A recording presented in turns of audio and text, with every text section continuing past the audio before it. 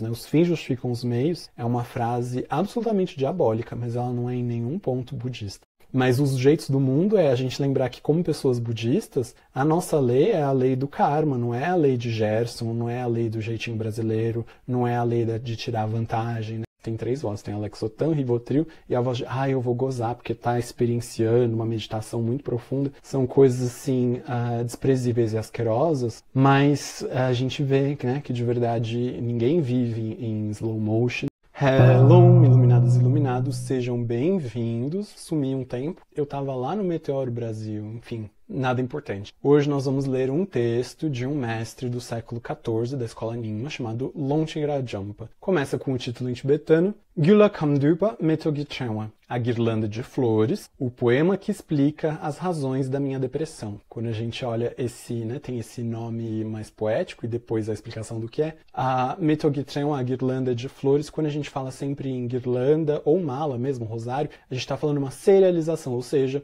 no transcorrer desse texto ele vai fazer uma listagem de razões pela quais ele está uh, deprimido. Então, por isso, uh, Metogichenwa, vários elementos assim serializados e o nome do autor é a data de nascimento e morte. Om Swasticidam, que é uma expressão em sânscrito, Om é o aumento, a multiplicação, Swasti estabilização e Siddham são as realizações, ou seja, que a compreensão e a prática do Dharma aumentem, se estabilizem, é uma aspiração. E ele começa, vou fazer uma leitura, depois a gente volta para alguns pontos. Glorioso templo de Samye, no vazio nevado do Tibete, tua bela forma sagrada, aprazível à visão dos deuses e homens, é como um jardim de lótus iluminado pela luz solar. Ofereço-te esses versos em prol dos seres inquietos. Tem-se dito que me falta conhecimento e habilidade no falar, que estou desconectado do mundo, apático, pobre e muito deprimido. Ouçam agora o que tenho a dizer. Diante daqueles que, de maneira nefasta e não dármica, agem sorrateiramente com métodos sórdidos de manipulação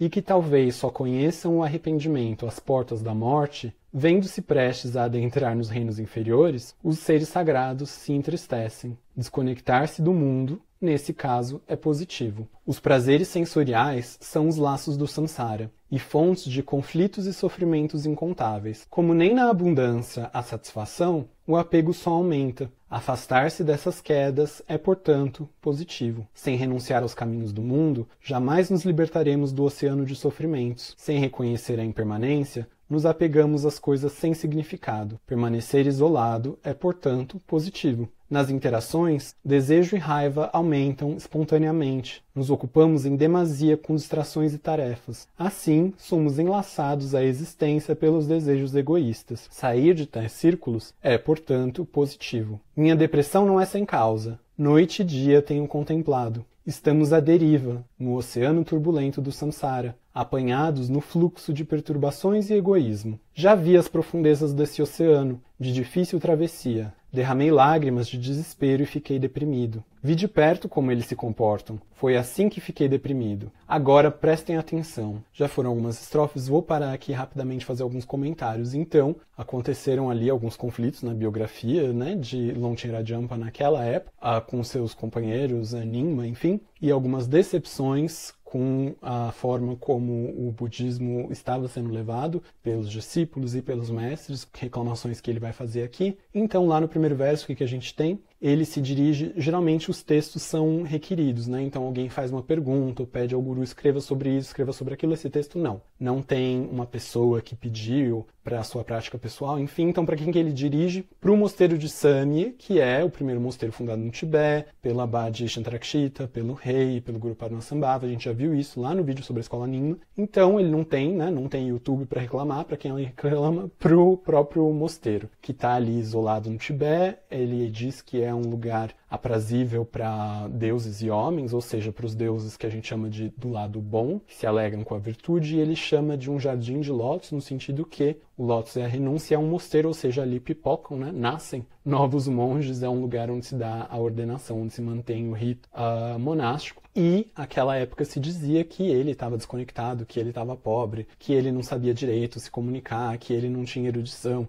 Então, assim, ele estava sendo detonado pelo povo e ficou deprê. Diante disso, ele diz que não só ele está deprê, mas até os seres sagrados, né, de uma forma metafórica. É claro que os Budas e Bodhisattvas não têm essas oscilações de humores, mas se diz, né, manifesta. Quantas vezes Buda disse não, ou manifestou o aspecto, né? Buda manifestou o aspecto do sorrir, o aspecto disso, o aspecto daquilo, ou seja, dá uma indicação favorável ou desfavorável. Quando as pessoas imersas no Dharma, imersas na religião, agem de formas negativas, nefastas e manipuladoras, né, na sua trajetória de vida sem nenhum arrependimento, talvez, né, com alguma sorte, o momento da morte ali, né, porque evitaram pensar na impermanência e no que tinha real sentido, talvez na hora da morte gerem, né, encontrem ou conheçam pela primeira vez o sentido do arrependimento. Por quê? Porque elas têm alguma percepção entendimento ou meio que calcularam que realmente uh, né, passou dos limites e estão prestes a ir para o inferno. É basicamente isso que ele diz. E aí ele retoma ensinamentos da renúncia. Renunciar ao samsara, mas antes disso a gente tem que renunciar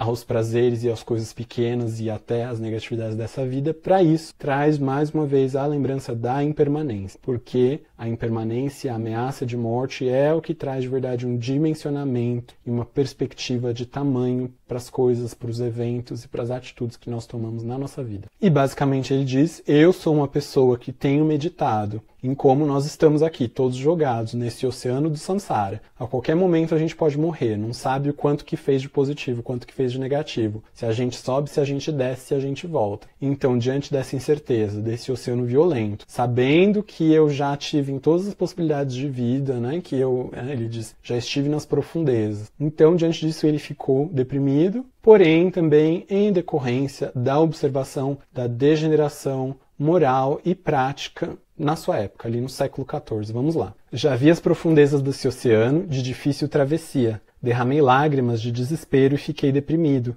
Vi de perto como eles se comportam. Foi assim que fiquei deprimido. Agora prestem atenção. Em público, demonstram boas maneiras. No privado, extremamente arrogantes, arrotam a pompa dos seus títulos, abades, mestres, gurus. Só que não praticam o Dharma, apenas buscam lucros. Observo a prosperidade dos charlatões e me deprimo. Eles se preocupam mais com os ricos do que com aqueles que praticam o Dharma. Eles estendem mais simpatia aos malignos do que às pessoas honestas. Observo esses grandes mestres dos oito dharmas mundanos travestidos de gurus e me deprimo. Preconceituosos, ignoram tudo o que é significativo. Desonestos e embusteiros, fingem-se de bondosos. Eles se entristecem quando as coisas dão certo. Meros bajuladores que fomentam desacordo entre as pessoas. Vejo isso entre meus companheiros e me deprimo. Não aguentam com nada, mas exploram os outros com exigências. Inacessíveis quando necessário, são instáveis e desleais. Seus humores são irritáveis e imprevisíveis perante minúcias. Olhando para esses companheiros, quem não estaria deprimido? Eles não têm senso de adequação e explodem quando repreendidos. Não têm fé, são desrespeitosos, rígidos e oportunistas. Amam comer, mas evitam tudo que envolve esforço. Observo tais discípulos e fico deprimido. Criticam pelas costas, logo após proferirem elogios pela frente. Não se esforçam no Dharma, só se prostituem em troca das coisas. Mesmo com toda a nossa dedicação, sempre guardam ressentimentos. Observo tais discípulos e fico deprimido. Debocham dos sábios pela simplicidade do comer e vestir, mas nutrem reverência pelos ricos inconsequentes. Veem os golpistas como espertos e admiráveis. Observo tais pessoas e fico deprimido. Quanto aos honestos, dizem ser burros. Os pobres, completamente desprezíveis e sem mérito. Os que seguem o Dharma chamam de inúteis e incompetentes. Ao redor dessas pessoas, fico deprimido. Aquele que segue os caminhos do mundo é por eles estimado como mestre excelente. Aquele que finge boas qualidades é tido como sábio. Enganadores e farsantes são tidos como boas pessoas. Vejo esse tipo de gente e fico deprimido. Consomem as oferendas dos outros, dedicando como virtudes. Distribuem maldade como se fosse o treino da generosidade. Seguem o não dharma como causa da felicidade das vidas futuras. Esse é seu modus operandi. Vejo essas perversões e fico deprimido. Desconhecendo o Dharma,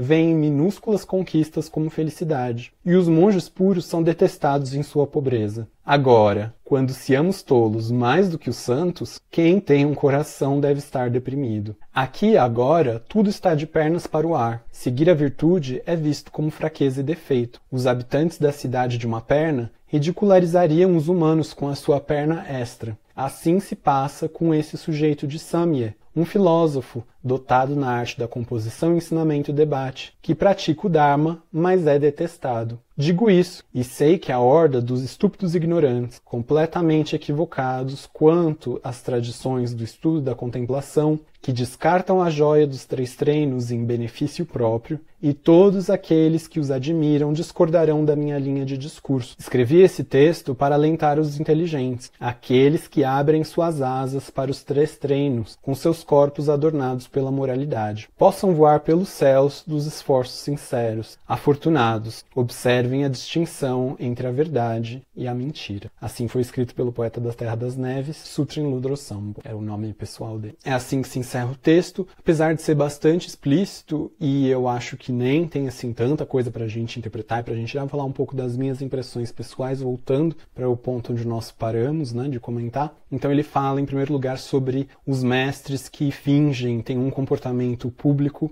e outro em privado. Então, em público, né, me vem imediatamente a voz de Ribotril, a voz de Lexotan, essa coisa a slow motion, né? Outro dia um monge uh, falando, né, recém-ordenado, né, que como desses que se ordenou na segunda, na terça já estava ensinando. Perguntaram, ai, por que que fala desse jeito tão calmo? Ah, é o resultado de uma mente sem perturbações, e aí você vai ver, é propaganda, propaganda, propaganda, quer vender cursinho, faz spam, marketing da escassez, assim, super na pilantragem. Então, é, essa coisa de fingir, ó, oh, coisa, né? Tá tendo um orgasmo, né? Que a voz tem três vozes, tem a Lexotan, Rivotril e a voz de, ah, eu vou gozar porque tá experienciando uma meditação muito profunda. São coisas, assim, uh, desprezíveis e asquerosas, mas a gente vê, né, que de verdade ninguém vive em em slow motion. Então desce do trono, sai da questão pública e você tem pessoas horríveis que abusam das posições onde foram colocadas ou se colocaram, né? Tem os dois casos. E vive falando, ah, é o lama fulano de tal, e aí tem 50 títulos, precisa de um nome muito longo. Então ele critica isso já no século XIV, né? Imagina agora no século XXI.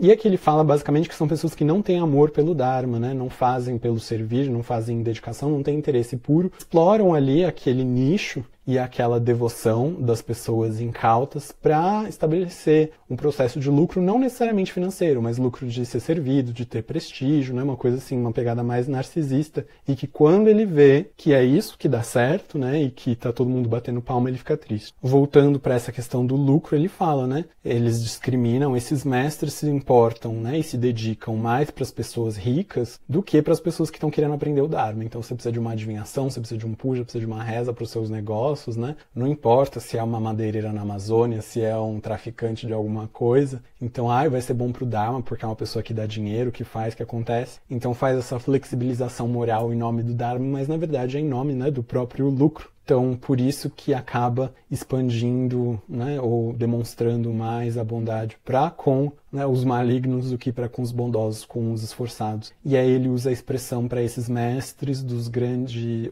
para esses grandes mestres dos oito dharmas mundanos, travestidos de gurus, é, eu olho e me deprimo. Então esses oito dharmas, esses oito propósitos mundanos são a busca da fama. Quando a gente pratica o dharma, não com uma motivação digna, mas na verdade buscando um, um reconhecimento narcisista e algum tipo de lucro. Então é uma prática completamente acinzentada, assim, puxado para o mais escuro. Depois de tratar desses mestres, ele passa para Sanga, né, e fala de algumas relações dos bajuladores, a gente puxa saco, então eleva um e derruba o outro, cria cisão e cria problema entre as pessoas. Ele não está falando de fazer crítica, é crítica social, é ele mesmo que faz aqui. Está dizendo dessas pessoas bajuladoras que só criam problemas, né, que torcem contra, que são preconceituosas, valorizam os ricos. Então, quando ele vê esse tipo de discípulo, uh, ele fica triste. E aí ele fala um pouco também uh, dessa coisa da exploração, né? Então você ter uma organização, um mosteiro, enfim, que é carregado, né? por uma forma você tem uma distinção de classes sociais às vezes, então tem o fulano que é rico e ele paga e ele é importante, e aí você tem uma pessoa pobre que ela está, né, como ele fala ali, é sem mérito, está sem merecimento, né? Faz uma coisa meritocrática budista, o que é absolutamente contra o Dharma, mas então assim, ah, você vai limpar o banheiro, ok, todo mundo pode limpar o banheiro, não tem nenhum demérito nisso. Mas assim, você já pega e transforma em duas castas, então tem os que carregam as coisas, e aí os ricos ficam, né, sentam na frente e passam o incenso com mais gosto e dá um olhar assim com mais carinho e um agradecimento mais alongado. Então ele trata um pouco dessa divisão é, socioeconômica dentro da sanga e que as pessoas nas posições de poder, sejam elas o administrador do monastério, o chefe do templo, o lama, acabam às vezes fazendo o quê? Com o chicote, né, dando no couro dos outros, mas são pessoas que por si mesmas, se a gente olhar quanto tempo que elas dedicam, quanto tempo que elas estão no serviço, né, é pouco trabalho, mas muita exigência, muita exploração em cima dos outros, né? Mas quer o dinheiro dos outros, mas quanto que investiu ele mesmo e na hora que a gente precisa não tem. Então acho questões assim bem fortes e ele retoma pela segunda vez essa expressão. Aquele que segue os caminhos do mundo é estimado como mestre excelente. O que, que são os caminhos do mundo, né? E às vezes vai parecer uma coisa meio de crente. De... Eu estava vendo outro dia no TikTok a Sara Shiva, filha da Baby do Brasil, é, que ela é pastora, não sei se ela trocou de nome, e ela foi cantar numa igreja, ela olhou pro guitarrista e falou, música do mundo, e aí a guitarra dele caiu. Então, porque na igreja ele tocava a música de Deus, mas no mundo, mas não é assim nesse sentido, porque o mosteiro é mundo, o Sami é mundo, tudo, tudo são as coisas do mundo, né? A gente nunca tá fora do mundo, a gente tá no samsara. Mas os jeitos do mundo é a gente lembrar que, como pessoas budistas, a nossa lei é a lei do karma, não é a lei de Gerson, não é a lei do jeitinho brasileiro, não é a lei de tirar vantagem, né? se a nossa lei é a bodhicitta, se é a compaixão universal, se é a responsabilidade universal por todos os seres, se é a bondade, se é lembrar e retribuir a bondade dos seres, não é, é seguir, o, seguir os, os, rumos do mundo, seguir os caminhos do mundo, é lucro, o que, que o mundo quer? Lucro, o que, que o mundo quer? Prazer, é, experiência fenomênica, prazer dos sentidos, hedonismo, então, assim, não tem como conciliar o Dharma e fazer, ah, então agora a gente vai vender o curso, e aí agora vamos explorar as pessoas, vamos extorquir, vamos pedir mais dinheiro e fazer, ah, vai ser bom para o Dharma. A gente não tem como fazer uma máfia de Dharma e achar que os fins justificam os meios. Os fins justificam os meios é uma frase absolutamente diabólica, mas ela não é em nenhum ponto budista. Também duas vezes no texto ele fala sobre essa questão de fingir boas qualidades e uma coisa que eu queria elaborar a gente não deve, como praticantes, como monge, como lama, como qualquer coisa, fingir qualidades no sentido de sair falando e querer induzir as pessoas a achar que a gente está num patamar mais alto daquele em que nós estamos verdadeiramente. A gente tem que ser, né? Eu tenho que ser o mesmo, vocês têm que ser vocês mesmos. A gente não finge, a gente tenta ser melhor, mas não finge que já está. Então, não induzir as pessoas ao erro, né? De que nós somos pessoas melhores e mais qualificadas e mais bondosas, enfim.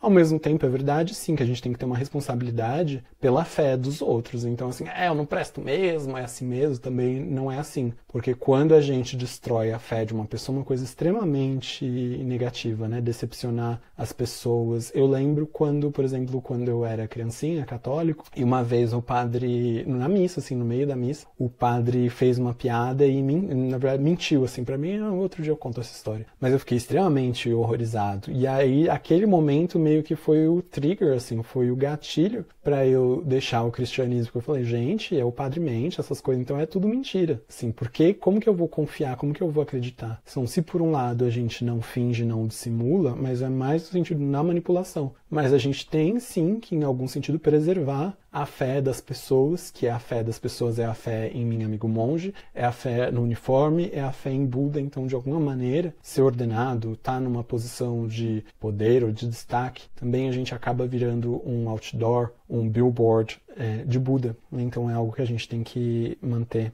ah, na cabeça. E aí ele fala: consomem as oferendas dos outros dedicando como virtudes, ou seja, os fins justificam os meios. Ah, e esse é o lama, então você dá, o dinheiro é bom, vai ser bom para você e vai ser um grande acúmulo assim. Acaba virando assim: "Ah, você dê para mim, amigo monge, é bom para você e tá girando uma coisa boa". E aí ele fala distribuindo maldade como se fosse o treino da generosidade. Então, generosidade, né, a nossa prática é dar e fazer um acúmulo de ações positivas, mas essas pessoas saem prejudicando os outros e fazendo a lista assim do acúmulo como se a generosidade fosse você falar, ah, vai ser bom, vai ser bom para o seu treino, é bom para sua paciência, você vai, você tá muito preguiçoso, agora você vai ter paciência, vai ser bom para o seu karma. E explorar, achincalhar, apertar, oprimir, né, abusar das pessoas numa justificativa de que no fim vai ser bom porque eu sou o objeto supremo, então de uma certa forma é colocar né, essa soberba de colocar o eu, eu amigo monge, eu lama fulano, eu guruzão, eu o chefe do mosteiro, chefe do templo. Então o serviço que é feito para mim é um serviço para Buda, porque eu e Buda somos a mesma coisa, então eu posso, estou empoderado e vou abusar e vai ser bom para você. Então assim, ele critica isso, né? Agora, quando se ama os tolos mais do que os santos, quem tem um coração deve estar deprimido. Aqui agora tudo está de pernas para o ar. Seguir a virtude é visto como fraqueza e defeito. E aí ele dá o exemplo, né? Tem essa cidade sem perna, quer dizer, todo mundo tem uma perna, né? Quem, todo mundo tem uma perna. Quando chega uma pessoa de duas pernas, é uma pessoa padrão, aí é vista como esquisita. Ou seja, a gente está nivelando por baixo e o ruim virou padrão e o bom virou uma excrescência e é olhado com estranheza. Isso é extremamente triste. Né? E enfim, ele dedica no final para as pessoas verdadeiramente engajadas no Dharma e conclui com: Afortunados, observem a distinção entre a verdade e a mentira. É, traduzir esse texto achei muito interessante, ressoou muito no meu coração. Eu espero que durante a leitura e a minha explicação curta, que não tenha trazido nenhum gatilho, nenhuma lembrança ou reconhecimento, que vocês tenham tido experiências muito favoráveis no Dharma, longe de qualquer uma dessas sombras ah, da maldade do abuso, da exploração, da divisão entre ricos e pobres na sanga, né, do menosprezo e abuso com os mais fracos, com os mais pobres, enfim, espero que não tenha trazido nenhum gatilho. E a gente volta nos próximos vídeos em breve, né? Vou me esforçar para voltar a gravar, estava meio desanimado, mas já passou. Muito obrigado, se inscrevam, curtam, compartilhem e deixem experiências, não precisa dizer nomes, se quiser também dizer também, tanto faz. Né? Liberdade de expressão, a gente está trazendo um texto do século XIV para o século XXI, que eu acho que é mais relevante do que nunca, extremamente atual. E é isso, o mestre Longchen Rajampa é o mestre da linhagem Nyingma. A gente tem uma série de vídeos sobre as linhagens, né? a minha Gelupa, mas as linhagens afortunadamente não estão em guerra, então nós temos seres sagrados e mestres inspirados e outros menos inspirados em todas elas. Essa é a mensagem de hoje, obrigado, até o próximo vídeo, tchau, tchau.